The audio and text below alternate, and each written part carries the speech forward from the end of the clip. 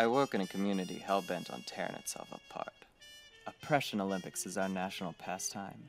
That's why I joined this biz. Twink detective, they call me. Small, but uncompromising. That is, until he walked in.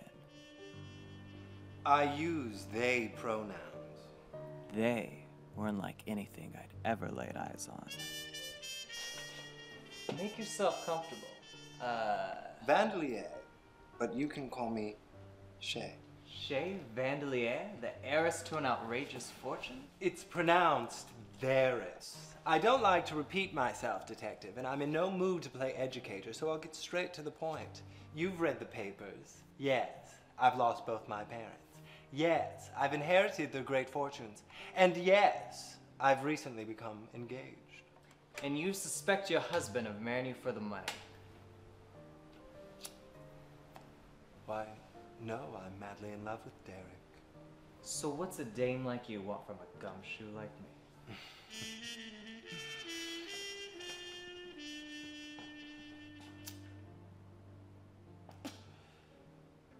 Cake, Detective.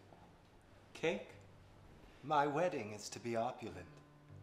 And that means we'll need cake. You've heard of Master Bake Cake Shop? That quaint bakery downtown? I love those broads. Well, I went to them with my business, and they refused to cater my wedding. I know they're homophobic, and I need you to prove it. Start from the top. If there's one thing you should know about me, Detective, it's that I demand a certain level of perfection. I told them we'd have a quiet 60 person guest list, and the cake needed to be delivered by noon the following day.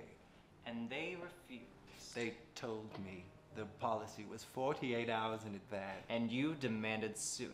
I'm used to hearing yes, detective. Why is it this little bake shop denied me here? Why, it's because I was dressed just like this. I wonder if that's true. I wonder if you wonder. I bet you do. I bet you think you could sell the gold out of your mother's teeth. How dare you? Oh, I dare, Cheesecake. Oh. I know the owners, Robin and Diane. They're a wonderful couple. Lesbians. Oh. Couldn't possibly be homophobic. Oh. You come along I'm- my beat throwing names and accusations, you've gone by this far on your looks and your money. Oh. But maybe they didn't want to serve your wedding, not because you're gay, because you're an asshole. Unhand me. You can't go around calling anyone you disagree with homophobic. What good will that do you? Or any of us? You ruffian, scoundrel. Oh, unhand me, fat-headed fuddy-duddy.